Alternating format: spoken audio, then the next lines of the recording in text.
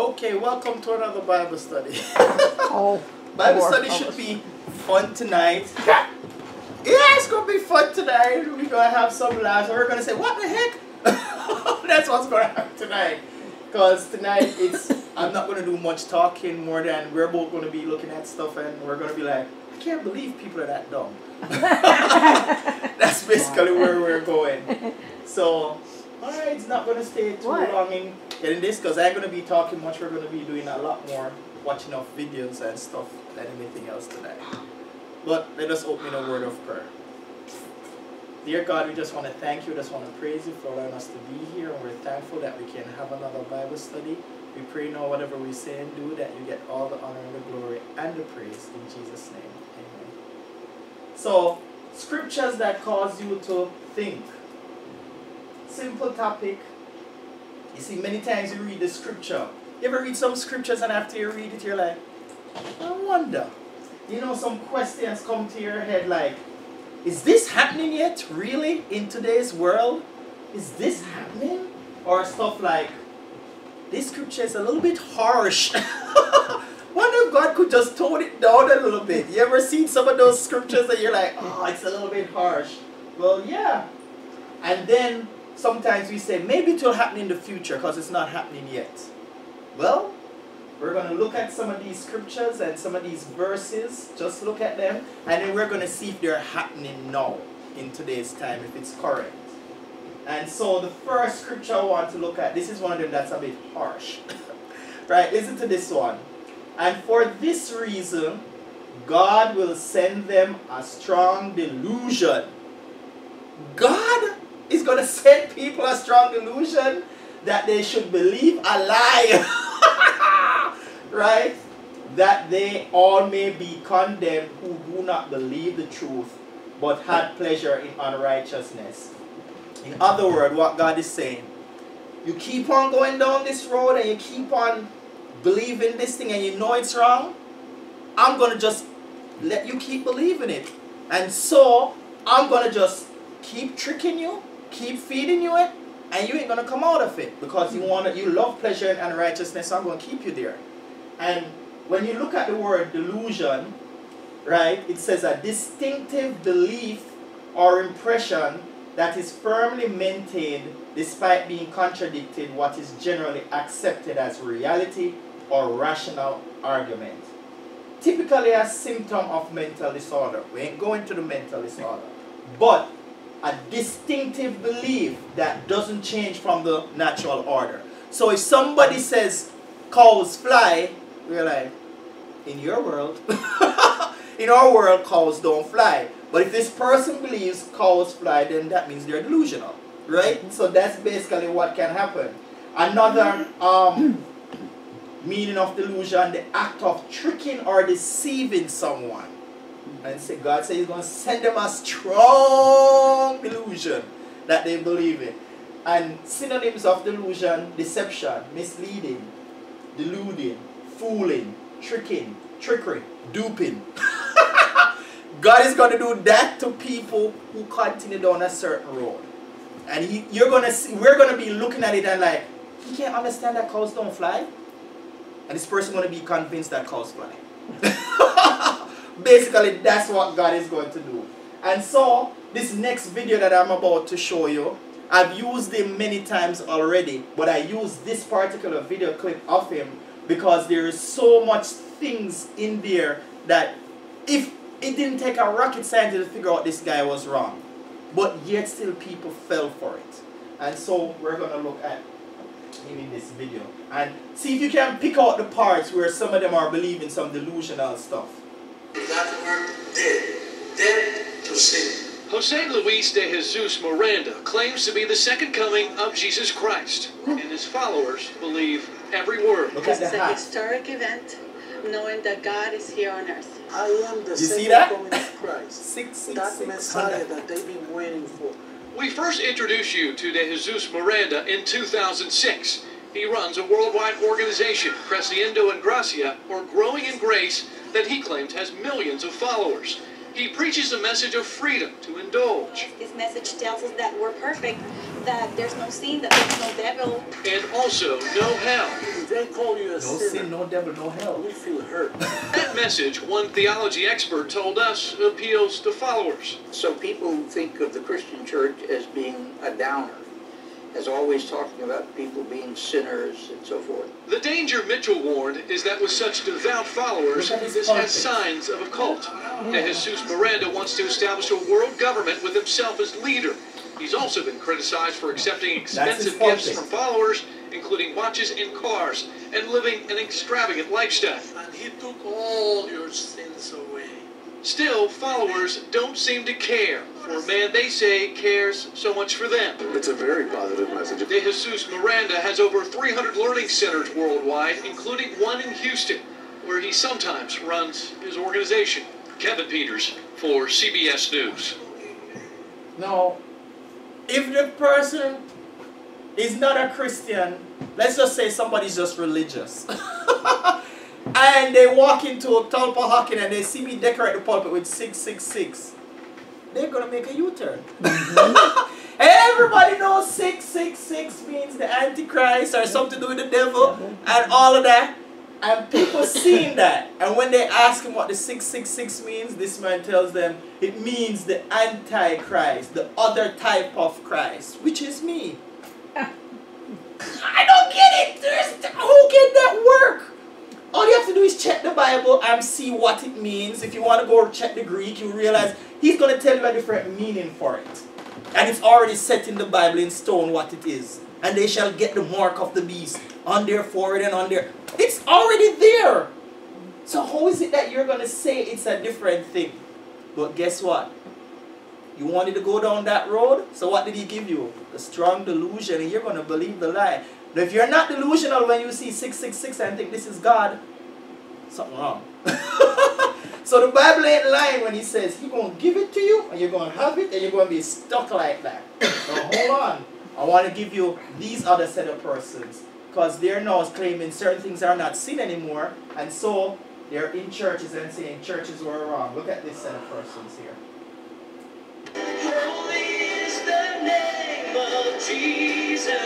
It would be a typical evangelical service were it not for the gay worshippers in the pews. They were at the National City Christian Church in Washington recently for a meeting of the Reformation Project. The group seeks full acceptance for LGBT people in evangelical churches. Before we move on to talking point number five, I just want to recap where are we? How is everyone doing? Matthew Vines gained a following after posting this video testimonial on YouTube. I am gay. I didn't choose to be gay. In the Christian Bible, the Apostle Paul condemns what he calls shameless sexual acts between men. But Vines says loving homosexual relationships were practically unknown back then. The heart of Scripture's teaching is that marriage is about commitment, that it's about keeping one's covenant with one's spouse in the same way that God keeps his covenant with us. And that's something that same sex couples can do just as well as opposite sex couples can. Vines argues that a teaching like this, that has failed in its objective and caused a lot of suffering, cannot be correct. But critics say he's just reinterpreting scripture to justify his own sexual orientation. One critic is Sam Allberry, who recently addressed the Ethics and Religious Liberty Commission of the Southern Baptist Convention. What you have to do to the Bible to make it approve of same-sex relationships is profoundly unevangelical. Evangelical Christians read much of Scripture literally.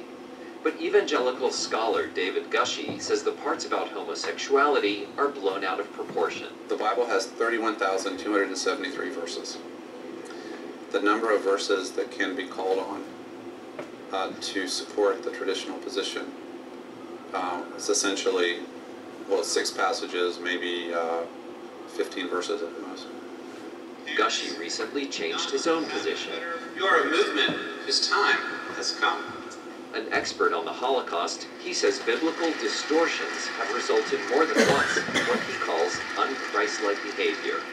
I think it remains very hard for Christians to say this simple thing. We were wrong. We've been wrong on slavery. on race, on women, on a whole host of issues. Gushee says Protestant Christianity is supposed to be a self-reforming faith, and he believes lesbian, gay, bisexual, and transgender members will only elevate this spiritual communion. Jerome Socolovsky, VOA News, Washington.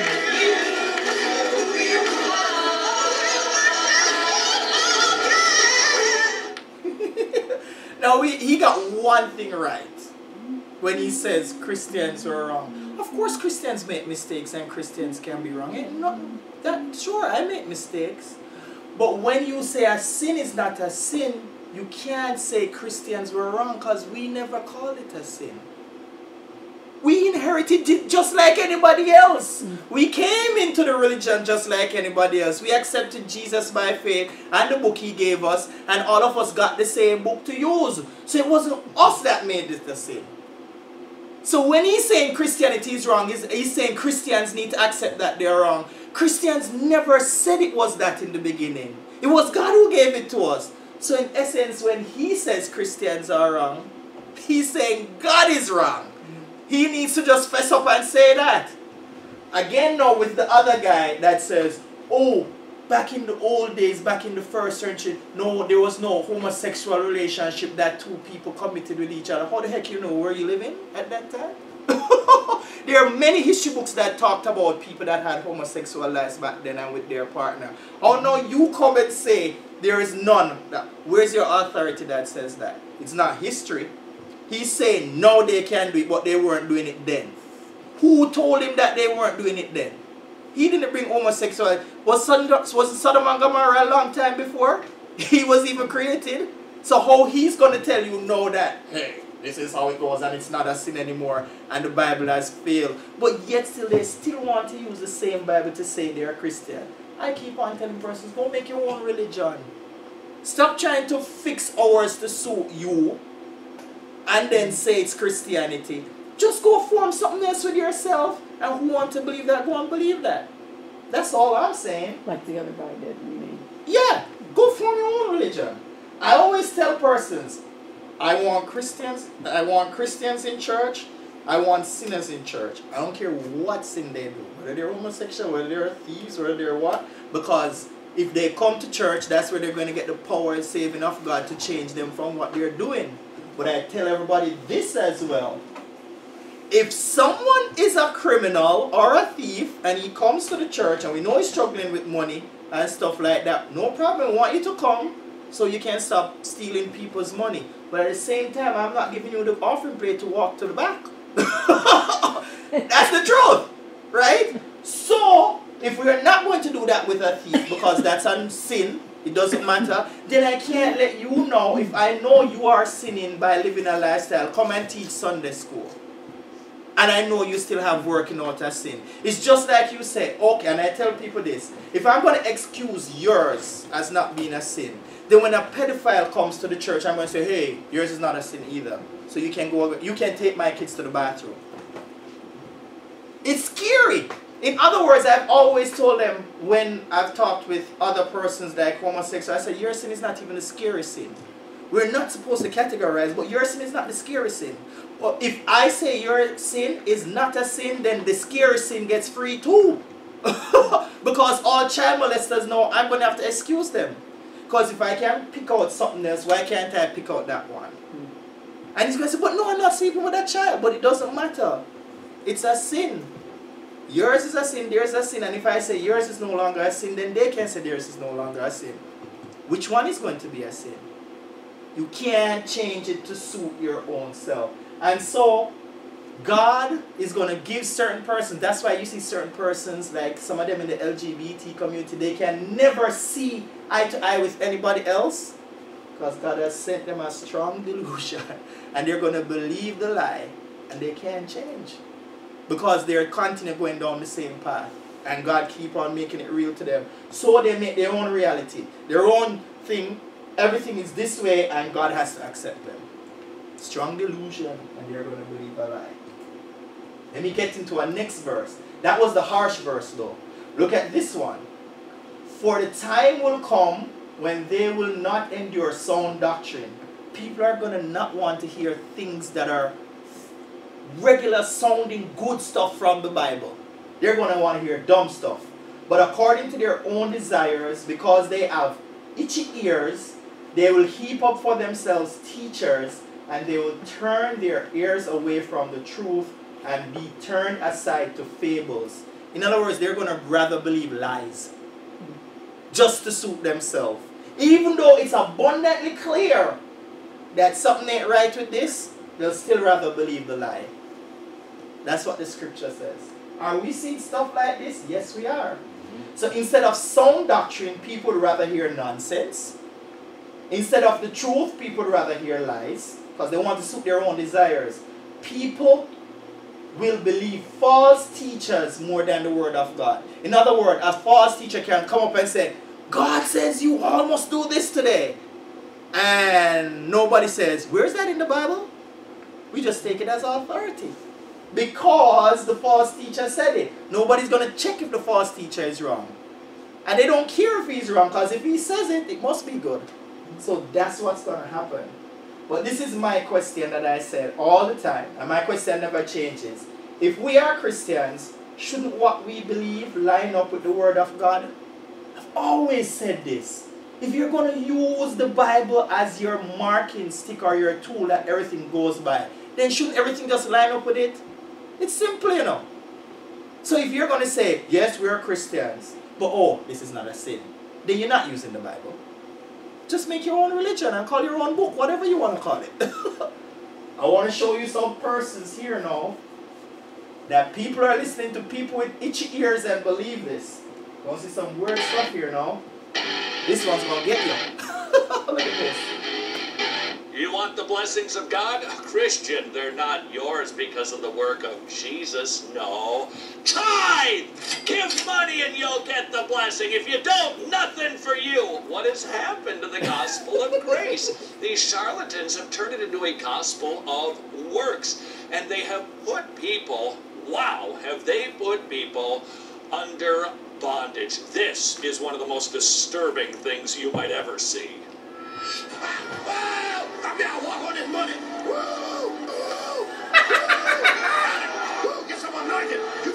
Here. Woo! Woo! Put some money. Put some anointing on this money. You put some up here. You put. You, you. Look at the people bringing the money. Prosper. Prosper, You promise them if they bring money and he walks on it, then they're going to get prosperous. Here comes his friend Creflo Dollar. So they dance some money and we get prosperous. Are they returning that money?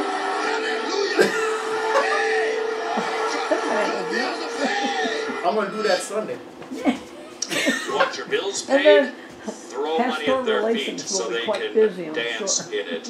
What do you know? It's a prosperity gospel with a string attached. That string is works, and that means it's no gospel at all.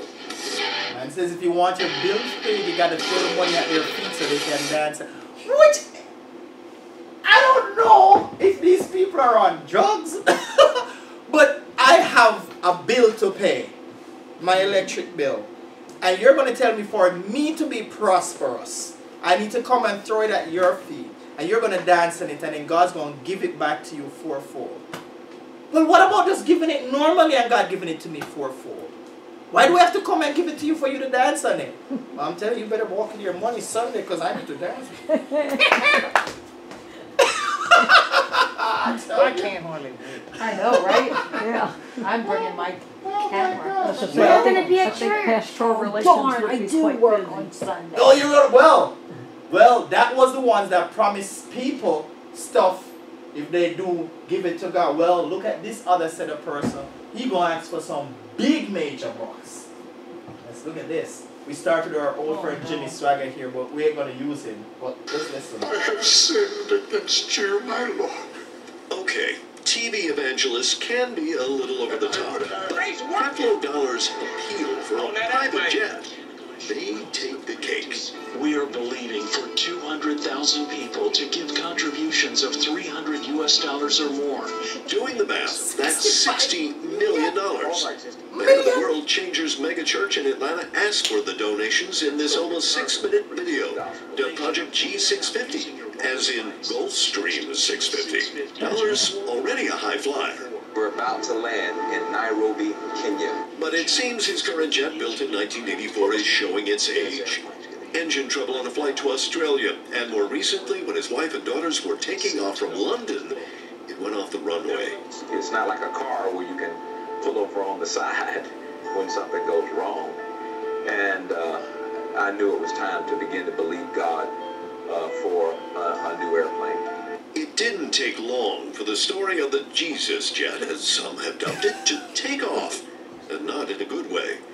This woman is a former parishioner. She showed up Sunday to protest, but got told to leave church property. Chris Paul didn't have a jet You're when not I was giving here. the jet money. And Get now out he of has town. one and he's asking for another one. But parishioner Mary Jones, who takes the bus to church, says she'd happily give to Dollars Jet Drive.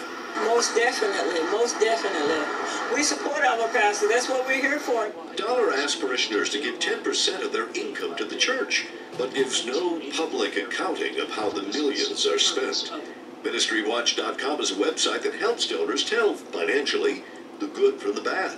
We have in the past uh, identified 30 of the top ministries and 30 of the worst ministries. And unfortunately, uh, Creflo Dollar fell onto the, the worst category. And the main reason for that was the lack of financial transparency. To find out more of how Dollar wants to spend his dollars, I called Daniel Jennings. He's a big seller of private jets. This isn't kind of an entry-level jet. It's not even a mid-level jet. This is the top of the game jet. The Gulfstream 650 is the largest, longest distance, second fastest private jet in the world. And to get one, Dollar may need more than money. He might need divine intervention. The wait for a new one is four years. And there are only four used ones for sale in the entire world. If I wanted to buy a gently used one, what do you think that would set me back? The low 70s, 71, 72 million. Do they finance? do that fighter. No, I don't get it. People are getting so much itchy ears that anything a pastor says to them, they can believe. Now, I would know. I want to know which day I can walk up into the pulpit and say to you, "Listen, I need a new truck, and you guys need to give me all the money so we can buy it cash." How can somebody say that? Sixty-five million dollar. Now let me give my disclaimer. I'm not saying pastors don't need to jet across the world if you have different things to go. But what happened to the other airplanes? Doesn't the airport work?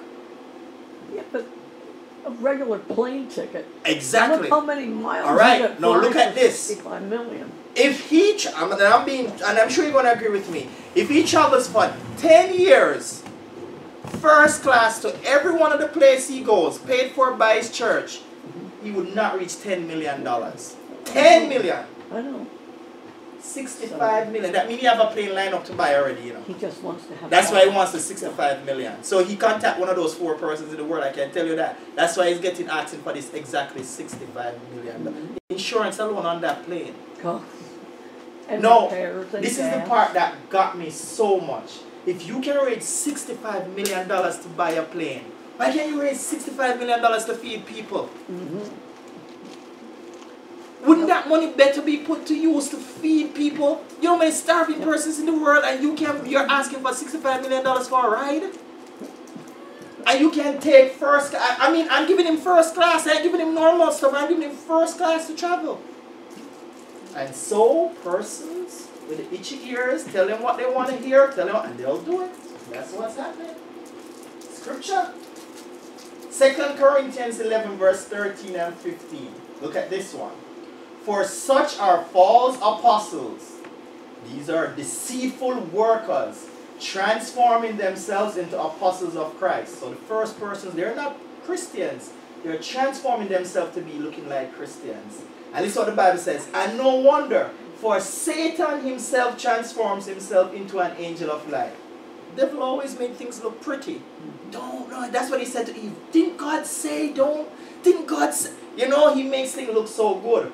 Listen what the Bible says. Therefore, it is no great thing if his ministers also transform themselves into ministers of righteousness, whose end will be according to their works. In other words, in the end, you're going to have to answer to God. Mm-hmm. But let me tell you something. I just can't get this. This is the thing here. It is one thing when you're fooled by someone you thought was real.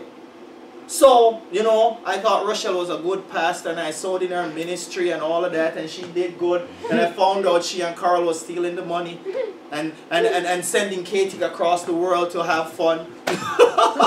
and then she comes back and we found out and she confesses and said, okay, she ain't going to do it anymore. And so we give her another chance and she's back in the church but she's no longer a pastor.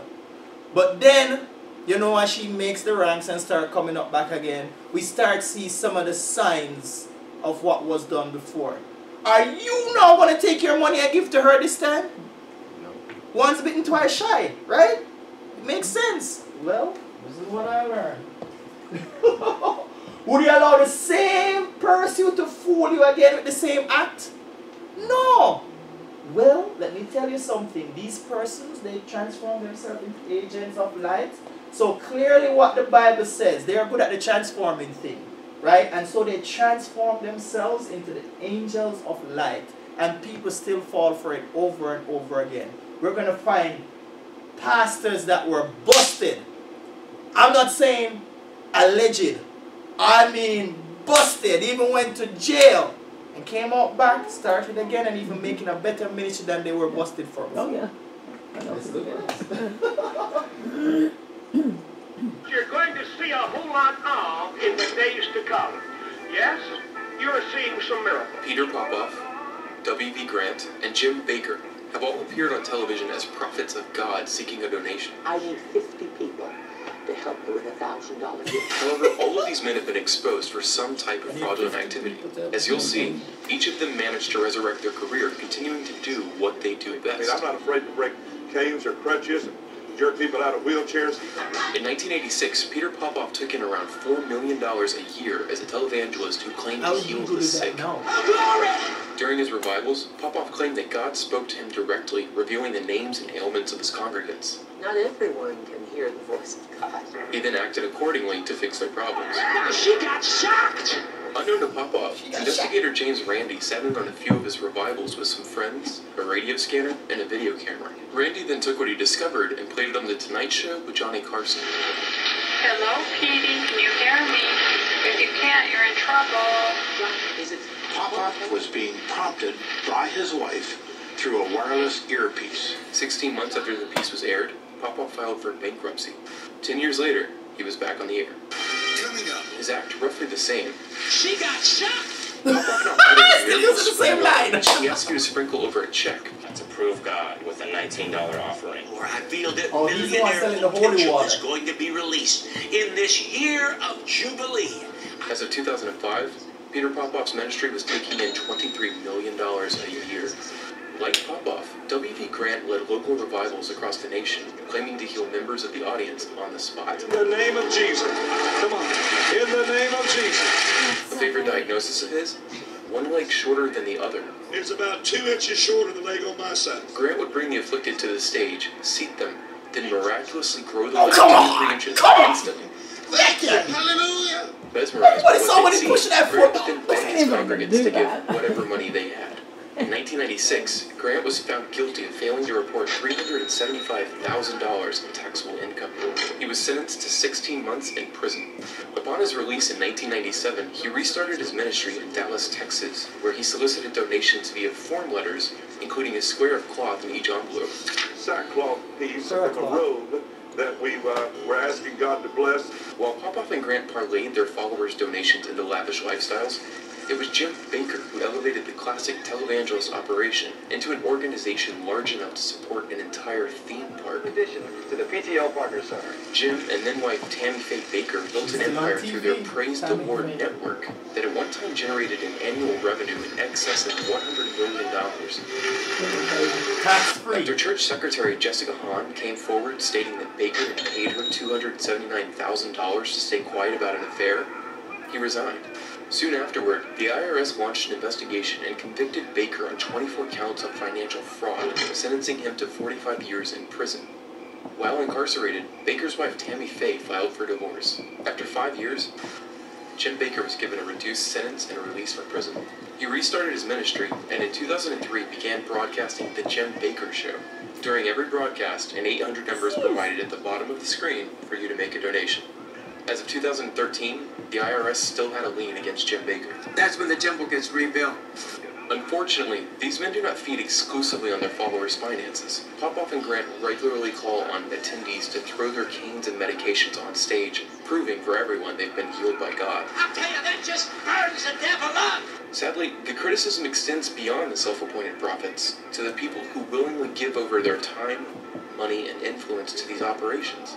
We've seen three examples of men who've been openly caught defrauding their congregations, only to return again with the same act. Only these days, they now accept donations via PayPal as well. This I don't understand. They transform themselves into agents of light and the people still fall for it. It's not like they weren't caught, they were. And the Bible talks about when you catch people doing certain things, the discipline they're supposed to get in the church. These men just come right back and do it. And everybody falls for it over again. I don't understand. Well, let's look at some other one. Now, this particular guy tried to do a miracle, a Jesus miracle. I never thought, I've been watching him for a, a good while. I'm, and a matter of fact, it's been months. I've been on him, almost a year, because something just didn't sit right. And I said, You're going to slip up one of these days. Then I said, Oh God, please forgive me for judging persons because I don't know them. And I came back and said, No, God, he's not good. Something is going to slip up. And so he did a miracle, but apparently the cameraman flipped too much and his crew around him shadowed the rest from seeing what was happening. But the cameraman wasn't supposed to show something, and look what happened. Now look at the miracle he tried to perform.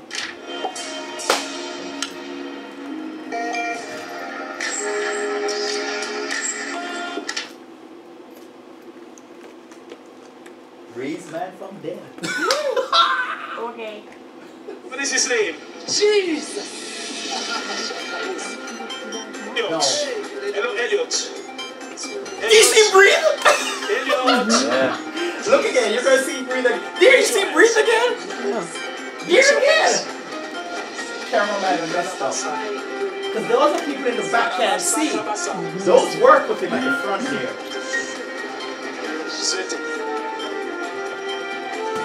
He's breathing a lot too. He breathing a lot! now look at this, look at this. He's still gonna perform the work because people in the back see this. Look at this.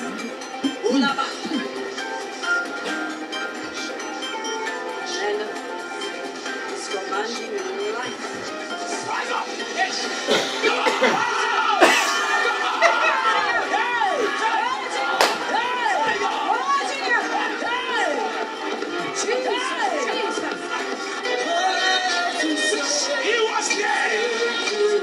He He's was now dead. alive. Jesus is the same.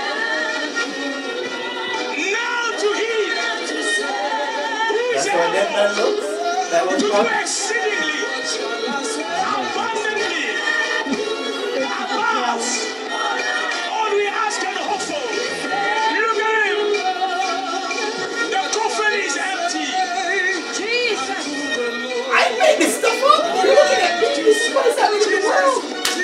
Transforming themselves into agents of light. Feeding him food and he's eating. Look at the people rejoicing. Because he raised the man from the dead.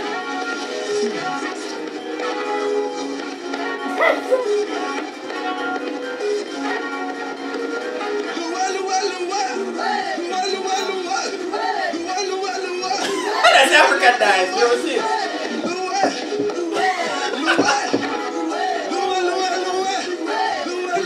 Water, restoring him. Well, but I can't hold his own water bottle. Yeah, he's saying he's, he's a servant. He's feeding him. Jesus, Jesus, Jesus, Jesus, Jesus, Jesus, Jesus, Jesus, Jesus, Jesus, Jesus, Jesus. Hey. Tell me. Tell me now.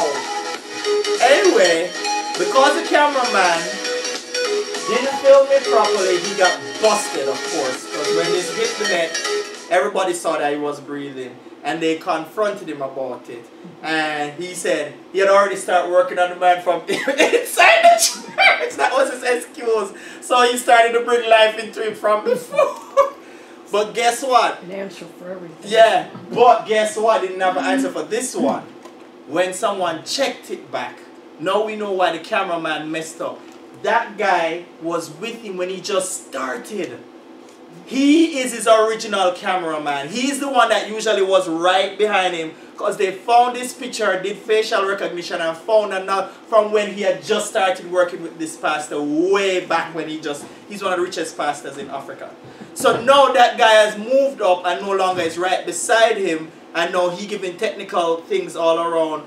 But he needed someone trustworthy to do the act of rising up, so he went for his most trusted guy that has been with him so long. And so people found that out and pointed that out too. He'd have done better to have a physician Yeah. administer that medication and then when they stab him. That would have that would have looked better. That is scary. Yeah. Like, But I'm telling you, this is what is happening. Transforming themselves into agents of light. This is this is what's happening in today's world. Next scripture. It says, I marvel that you are turning away so soon from him who called you in the grace of Christ to a different gospel. What do you mean? Well, what this verse is saying, there are people preaching a different gospel. They still have it under the head of Christianity, but it's a different gospel. It says, which is not another, but there are some who trouble you and want to pervert the gospel of Christ. But listen what the apostle said. But if it's even we or an angel from heaven preach any other gospel to you than what we have preached to you, let him be accursed. And if you read in a little bit more, the next line says the same thing. Again, I repeat, if another person preach another gospel to you, let it be accursed. He says it twice, so we can be sure. Well, let me tell you something. Some people are thinking, it's just religion. How many different types could there be? Let me show you something. This is a fact now. It is said there are about 4,200 different religions in the world. Now, this is the part that some people start rejoicing on, but don't rejoice too much on it. It is said that Christianity is said to be the largest, but I don't agree with that, so I say it's not true. You know why? When you check Christianity, under Christianity you have Jehovah Witness, you have Mormons, you have Latter-day Saints, you have some that I can't even tell you what they are, because I never even heard of them, but they are considered Christianity. So the big chunk of Christianity isn't really Christianity. Mm. It's just a bunch of persons put together that they say they are Christians. So don't get too happy with this one. You want to see another gospel being preached? Okay, let's see these Christian churches. Right? Let's go. Here we go.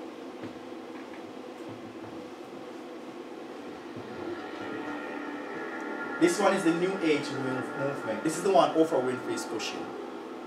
Remember, she running for presidency. One of the main uh, basic beliefs of the New Age movement is what's called monism. And what that means is that everything comes from the same source. So whether we say it's God or whether we say it's man, whatever form of creation it is, it all comes from exactly the same source. You've only got to go to the very first verse of the Bible where we read that in the beginning God created the all uh, powerful eternal God created man and therefore man is different to God but not in the new age movement in the new age movement I can be as much God as God is if God really exists Moving on from this, we come to one of the second major belief systems of the New Age movement, and that's pantheism. And basically, pantheism means that this God, this force, this power is within everything and everyone. So everyone has God within them. Everything has God within them. Therefore, we don't need an eternal God outside of us because the power to be God, who we are, what we can be with God is within us and we need to find ways to release God. Gnosticism is another major belief system of the New Age movement. Gnosticism is, is, is having a special knowledge. Gnosticism is where I have a special knowledge that nobody else has, and you've got to have that knowledge. So that many groups in the New Age movement would talk about a revelation that they've had. Many groups would talk about something that they've seen, that they know, that nobody else knows about. The only place you can find it is by coming to them and joining with them. Finally, on the basis of the beliefs, we have relativism. Relativism is a key factor because one of the things that we will actually find is there are many diversities within the New Age movement. There's a oneness, but there's also a diversity because the goalposts all the time keep being moved. When, however, we come to the belief of true Christianity, what we see is there's an eternal God who has spoken, and that word cannot change, that word cannot alter. Relativism is not part of true Christian belief. So what he's saying there with relativism, relative, I can never call it, but that big word, is that if something doesn't fit in the New Age movement, they change it up and write it different. Mm. So today we say this is the order. It's not working out for everybody in the group, so they change it. And, and he's saying Christianity just has one word, the Bible, and it can't be changed. That's how it is. But in that other belief, you can change it up after you're ready to whatever suits you. And God is inside you. That's why Oprah Winfrey, and many persons believe Oprah when she is in the New Age movement, because anything is her God. She worships, yeah, you didn't know that about Oprah, but she's in the New Age movement. And so she released her God. Don't you see she owns a network? And so people believe now.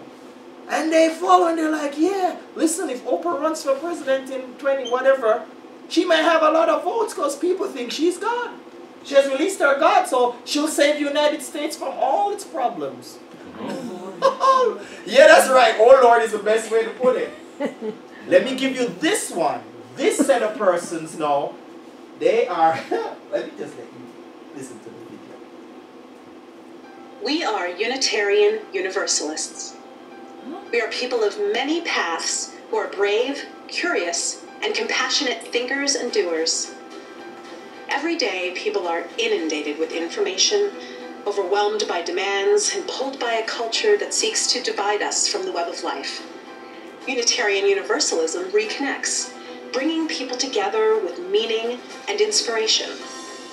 We are a house without walls, a congregation without spiritual limits, and a movement that calls you to put more faith in yourself, your community, and your beliefs. We are a faith that honors your mind, your heart, your journey. Simply put, we are a guided path towards a better you and a better world.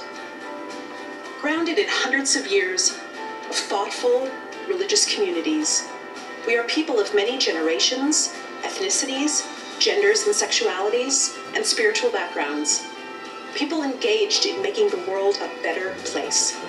People focusing on what really matters love, justice, integrity, and hope. Unitarian Universalists have different beliefs, but shared values. We are Unitarian Universalists, and at the same time, we may also be agnostic, Buddhist, Christian, Hindu, humanist, Jewish, Muslim, pagan, atheist, believers in God, and those who let the great mystery be. The diversity of beliefs you'll find in a Unitarian Universalist community is one of our strengths. We're always learning how to see the world from a different perspective.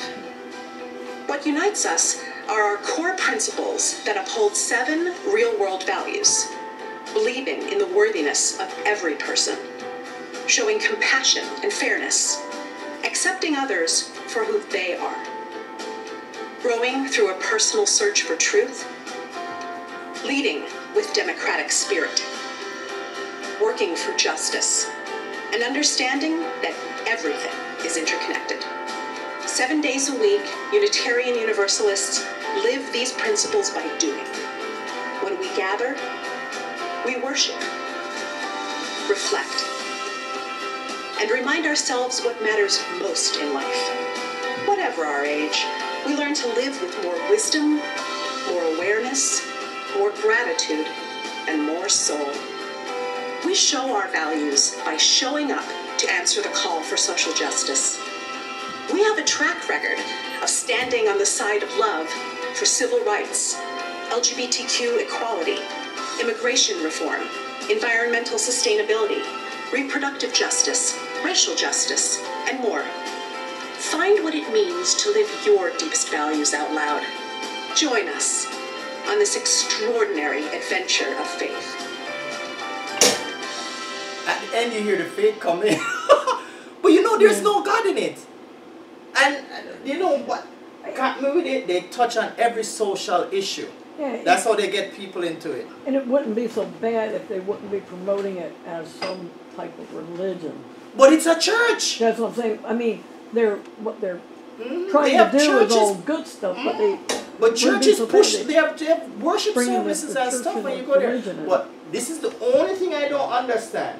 Now, when I listen to all your stuff, just like what you said, it's logical. Mhm. And if they just had it as a movement, it would be okay. Right. But they say it's a religion. Right. That's where. Now, this is the part I don't understand. Logically, everything else can work.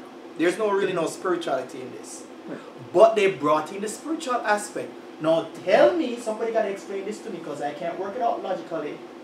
How can someone who is a Christian and someone who is a Buddhist and someone who doesn't believe in God, period, worship under the same building? I thought someone who doesn't believe in God doesn't go to church to worship because they don't believe in a higher power. That's what I said. They, they So it's a bunch of baloney. Why did they? I have why choice words for it, but I won't tell you. Because how listen, it's like we say, okay, we're gonna share a service today. So the Buddhists come, the Christian is here, the Buddhists sit and they meditate.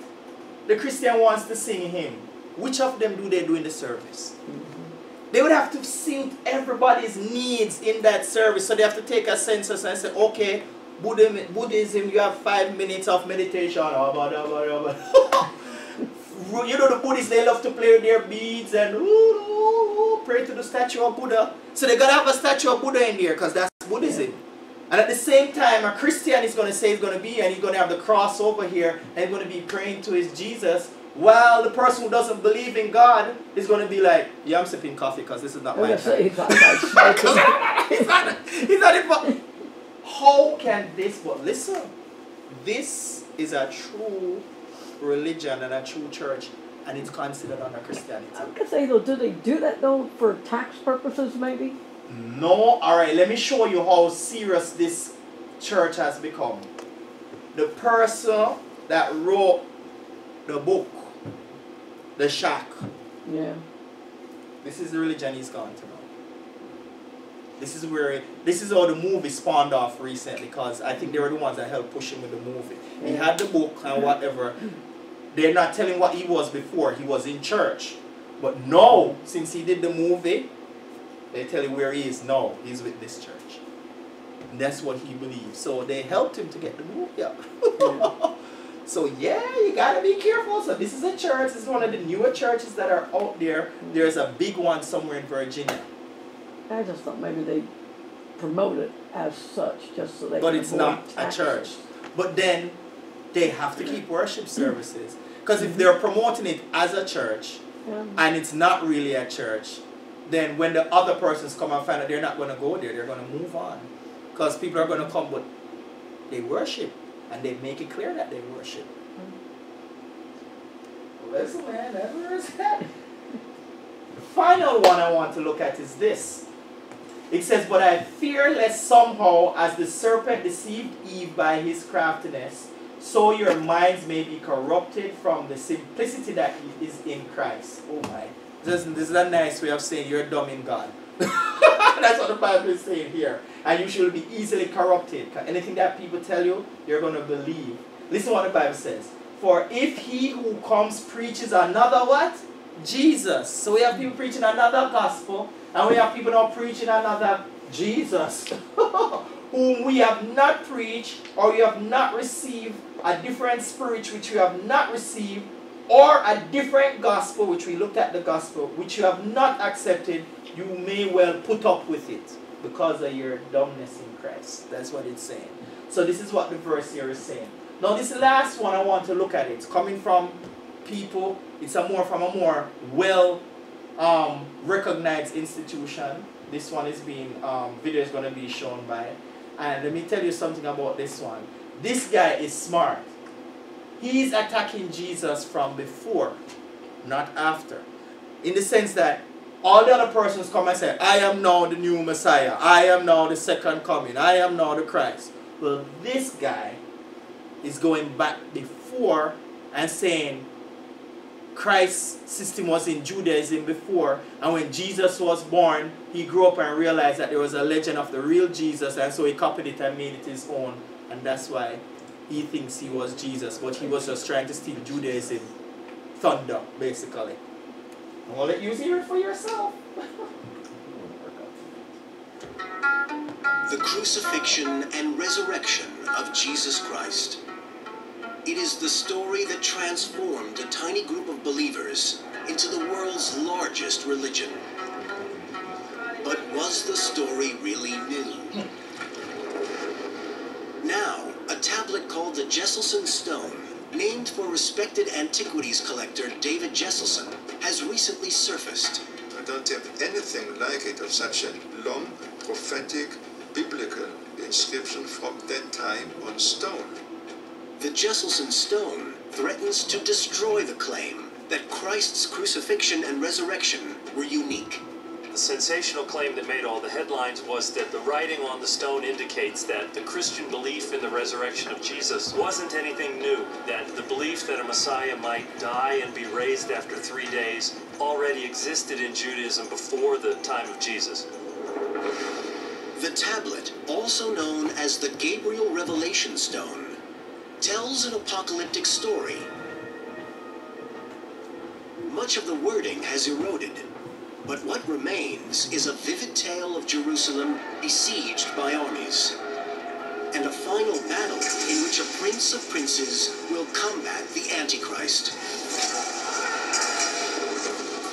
But the most interesting passage is line 80 in which the angel Gabriel commands a prince of princes to do something after three days.